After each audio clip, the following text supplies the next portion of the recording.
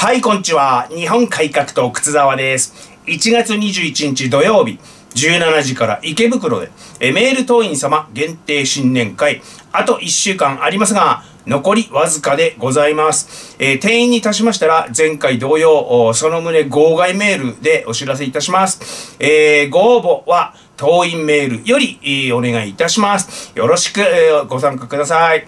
NHK の急所、NHK 営業サービス、サービス、カッコ株について追加情報、生活保護受給の状況を自治体への紹介によって監視している。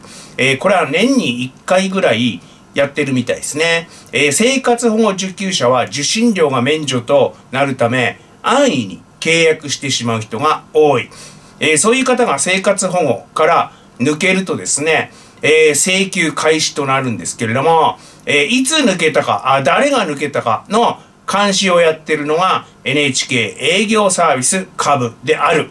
えーその頻度は年に1回程度だそうであります。えー自治体つってもね、あのー1000以上あるからね、えーこれだけでも大変なんですけど、まあまあ、あの、ここはですね、毎月、すべての自治体に転出転入届を紹介して、まあ見に行ってですね、え人の引っ越し、契約者が引っ越ししたのを監視しております。で、あの、転、引っ越し先にも、すぐにね、あの、送ったりなんかしてね、えーご住所を変更されたみたいですけれども、みたいな、ちょっと払ってくださいね、みたいな、えーそういうお手紙、送るんですけどね。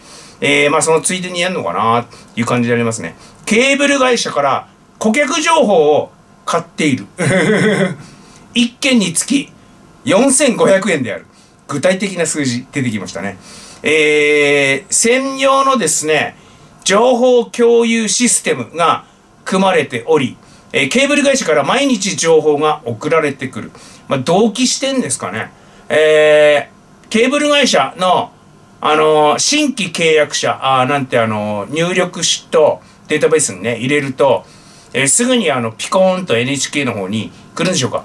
ケーブル契約者を受信契約者として登録している。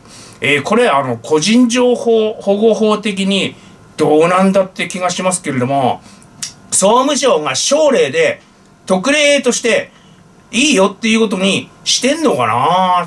えー集金人はあの20時以降訪問してもお咎めなしっていうのは総務省が省令発してですねわざわざそうした、えー借金取りとか、えーそういう人があの夜20時以降に訪問したりなんかしと、えー懲役食らうんですけれども集金人はその限りではないっていうのを総務省がわざわざ特例省令出して、えーそうした、えーそれみたくあの個人情報取り扱い特例として認めちゃってんのかな、えー割増金を課せるのは、えーこれ未契約罰金ですね。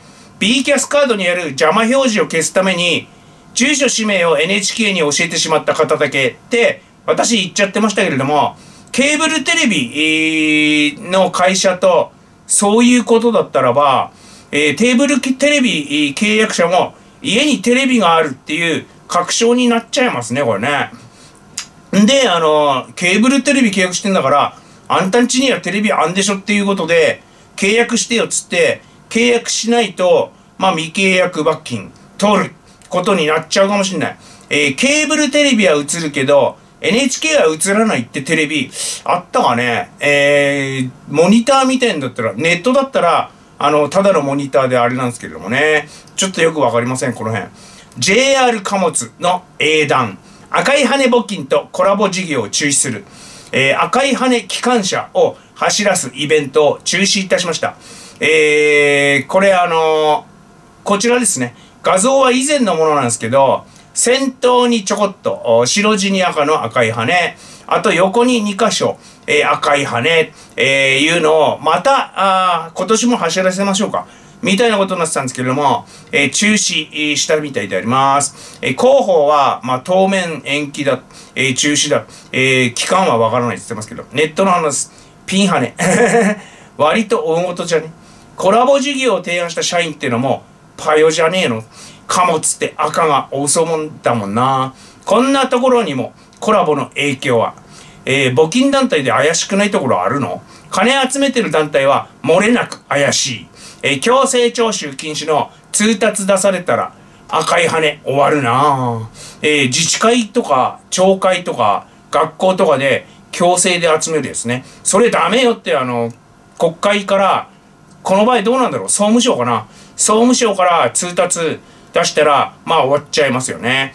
募金の強制は違憲って判決出てるし、あ、これ出てるみたいです。赤い羽、えー、強制すんだ。えー、最高裁で判決出てる。えー、夕刊富士産経がちょろっと報道で、えー、未だにですね、テレビは報道してないと思いましたが、えー、あと大手新聞も一切報道してませんね、赤い羽についてはね。えー、あっぱれ JR 貨物の経営陣、社員じゃなくて、えー、JR は、パヨに散々ね、煮え湯飲まされてるから、敏感なんだろうがね、えー、あ、パヨくせえとなったら警戒するのかね。結局はね、あの赤い羽側が、JR 貨物が納得できるような説明ができなかったんでしょうね。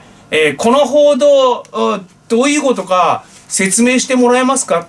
えー、イベント、共同イベントやるに際して言われて、しどろもどろになっちゃったんだよね。えー、それともですね、えー、へでもねえへりくつみてえな説明して、えー、JR 貨物型が、えー、なんかね、あの、あきれっちゃって、みたいな。えー、無能だな赤い羽どころか、発端のコラボのこの字もテレビはやってないですよ。まあ、それでなかったことにできた時代は終わったんだないよいよなえー、富士でも知らない人いっぱいいますけれども、NHK スクランブルでも知らない人いっぱいいますけれども、えー、そういう時代は終わったんだな多分ね、あの、有志による問い合わせが JR に何件もあったんじゃないでしょうか。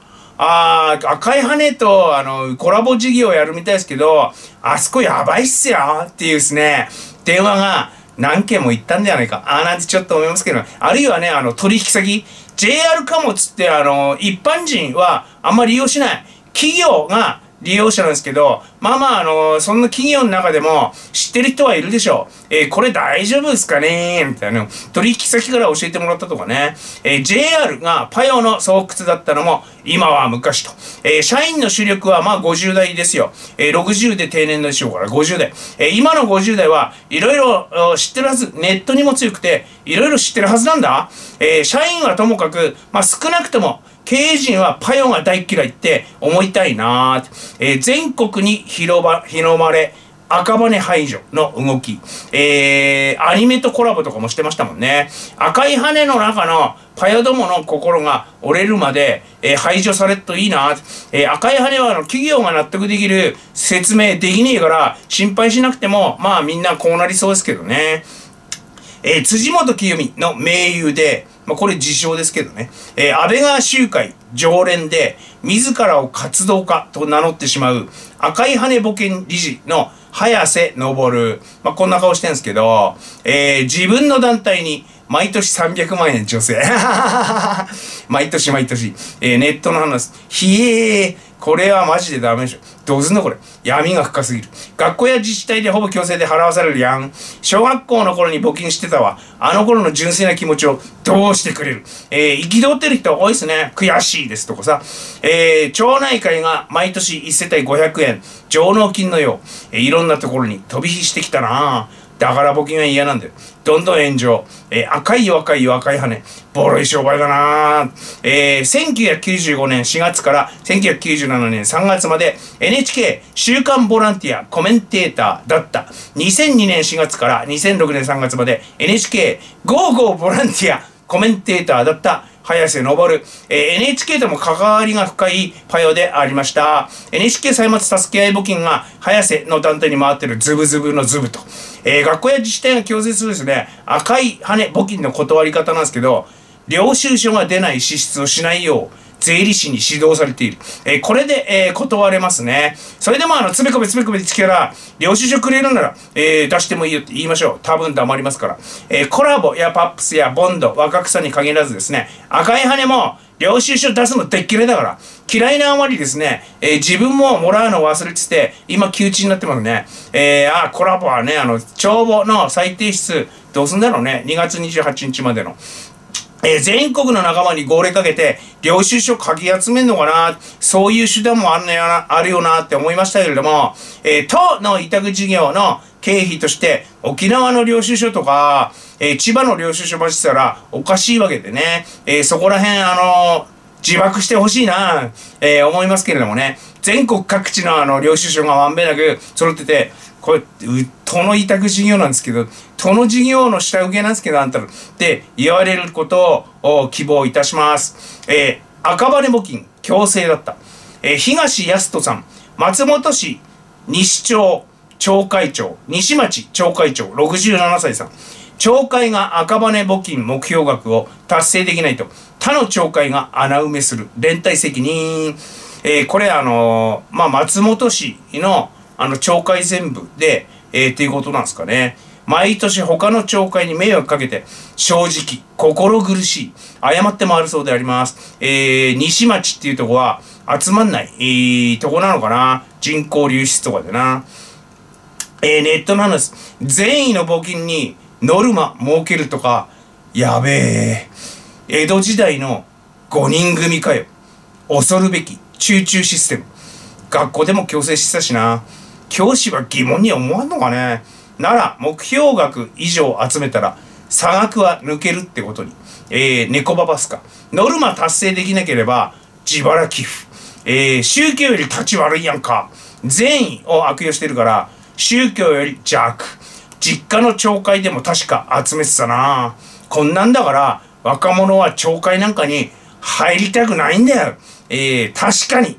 えー、朝っぱらあの草むしりとか速攻、えー、掃除とかあるもんね。えー、試験なんですけど、あの宗教は天国に行きたいであるとか、良い行いをしたいとか、良良き人になりたいって、所詮我欲だから。その動機はね。えー、靴沢的には、寄付で自己破産しようが、ひどい目合おうが、心の底からは同情できないんだよね。えー、良い行いをしたいっていうんだって、良き人になりたいっつうんだって、結局は我欲でしょう。我欲でしょう。そんなのは。えー、赤羽募金はそうでなくて、他人を思いやる心や善意につけ込んでんで、宗教より卑怯、卑劣、邪悪だと思いますけれども、私は。自分のための出費じゃないもん。宗教の寄付は自分のための出費だもん。まあ、あの、神社に行ってお賽銭あげて、健康を願うであるとか、まあまあ自分のためですね。えー、日本で一番害悪垂れ流す宗教って、学会教か、共産教かと思ってたけど、赤羽教もなかなか邪悪ですね。ノルマ以上集めれば猫モバできる。えー、やってるやついるでしょ。いないわけないよ。えー、町会長は善人。ないない。えー、そんなわけ。そんなわけない。猫モバ額を増やしたくて、一層圧力かける邪悪な町会長すらいそうなんですけどね。えー、募金の強制は違憲判決出てますよ。えー、違憲だって、憲法違反だ。えー、で、あの、あれほどやがましい共産党が言わない。これに関しては。えー、なんででしょうね。全然わかんねえや。困難女性支援法第1回有識者会議議事録。なんとあの、ニート無能が出席していた。自立を目的とせず、支援しましょうであるとか、えー、ツイッターでの発言ね、全力で買い張る禁止、まあ、売春って言うんですけど、えー、売る張るの、あのー、あれですね、と同じ音になっちゃうんで、買い張るって言いますけど、えー、買い張る処罰法を作っていただきたいです。えー、ツイミン。なんでコラボは渋谷で避妊具配ってんの？売春を容認してんの？えー、とある風俗風俗嬢さん、私は軽度の知的障害で、売り子もできなかったから、えー、この仕事があって助かっていると。えー、いるんですよ、あの、何、あの、お店で物を売るっていう作業も、ちょっと難しいような子もいるんですよ、中には。えー、こっから見えてくるコラボ、ボンド、パップス、若草などの村木厚子チームの公金、募金、集中スキームなんですけども、まあ、あの、自立は目指さない、えー、売春禁止してほしい、えー、風俗があって助かったっていう子もいるんだ。えー、渋谷で避妊具配ってる、こっから見えてくる、えー、スキームなんですけどもね。私のあの考えた推測ですよ。1、AV 規制と風俗規制で、パパ活などに逃げる困窮女性を増やす。避妊具配布はその一環。パパ活促進。